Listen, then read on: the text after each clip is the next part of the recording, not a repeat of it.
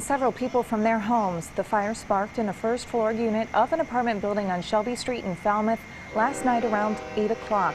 Everyone inside made it out safely, but one dog and two cats did not survive. Crews contained the fire to two of the six units in the building, but the other four have smoke and water damage. Falmouth Mayor and trained firefighter Mark Hart even joined in on the fight. Mm.